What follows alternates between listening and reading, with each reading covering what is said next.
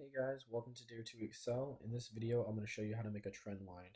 So first off, with you know doing any sort of processing or uh, analysis, you want to get familiar with your source data.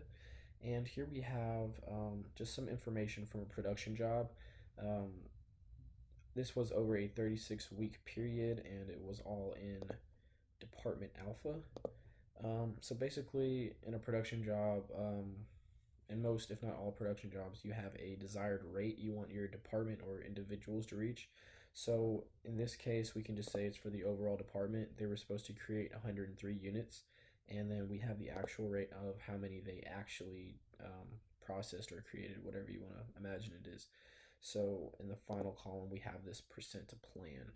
Um, I think that's the correct term terminology, percent to plan. Um, so that's what I call that header. But anyway, what that shows is compared to their desired rate, um, how much do they actually get done. So um, as you can see, 102, the actual rate is smaller than the desired rate, 103, so that would be less than 100%. It's 99%. Um, a lot of jobs, if you work at a, at a big facility, will sort of give you this information. You won't have to set it up yourself. Um, and that's for another video to show you how to set something like this up. Um, but for now, first we need to extract the week number and then the percent to plan. Um, we're going to make a trend line so we can tell if over the 36 week period from beginning to end that the department improved or it um, got worse throughout the entire uh, process. So, and, and we're just going to make a, a, just one linear line. We're not going to have it exponential or, or, or curves or anything like that. It's just going to be from start to finish. Did they um, have a positive slope or a negative slope. So first, let's copy these weeks. So first we're going to write week, and then we're going to write percent to plan for that week.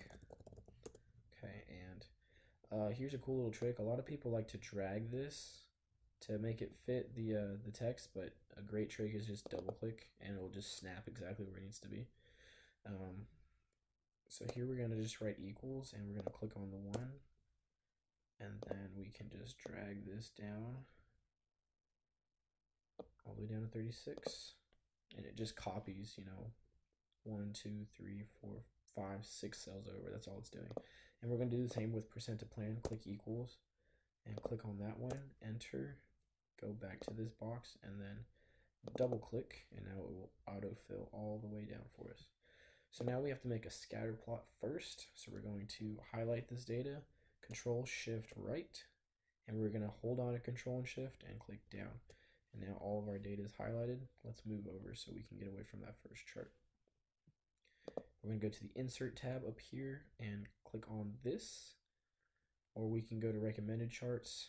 Um, I'll show you that one. And then you can just go to all charts and then you would go down to uh, XY scatter. And we want this one Yes, or like I said the other way, you can just click on scatter and there's our scatter plot. So let's just make this a little bit bigger. We don't need to make it um, pretty or anything like that.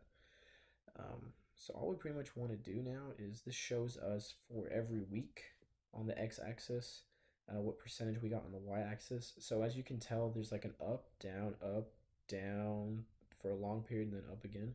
So you're not sure from beginning to the end did we improve or did we get worse? So that's where the trend line comes in. So what we want to do is click this little plus over here and we want to add the chart element of a trend line. And there's our trend line. So you still can't really tell if that's going up or down. It looks like it's going down a little bit, but it'd be great to know exactly what percentage it went down. So we're going to double click on that, let this little thing pop up on the side, and let's go to the paint bucket and let's not make that the same color as the dots. Let's make it a, uh, a bright red. And let's change the dash type over here to a solid line. And our line here is solid as well now too. Awesome. So um, we can see the line a little bit better now, but we still want like a numerical value to explain what's going on. So we're going to go back to these bars over here, trend line options and go all the way down to display equation on chart. And now we're going to click on that. Make sure you get the crosshairs here. Drag it. Now here we want it to look a little bit bigger so we can triple click inside of it or you can highlight all of it, whichever is easier for you. I'm just going to triple click one, two, three, and I'm going to make it bold. You can either go to the home tab and uh, use this or you can use your keyboard shortcuts control B to make it bold and control shift greater than greater than greater than and now it's bigger okay so we can close this out and we can look at what we have here so um, you know just a standard um, equation here, you know, y equals mx plus b. Um, so we're just looking at the slope of this line, if the line's going up or down, we just want to look at the uh, number next to x, and that's in decimal form. So let's go over here and write decimal and then percentage because we want it in a percentage. Um, so we can just copy that decimal. It was negative 0 0.0003, and we don't need to copy the x. Um, yeah, we don't need to copy the x.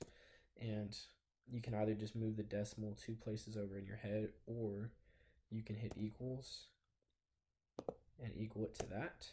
And now click on the second one if you want it percentage form. Go up here and click this percentage. And you say, oh, 0%. That's not 0%.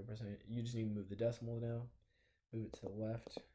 And that shows that the department, from start to finish, with its ups and downs overall, um, went down 0.03%. So for the remainder of the year, um, you like to make some improvements.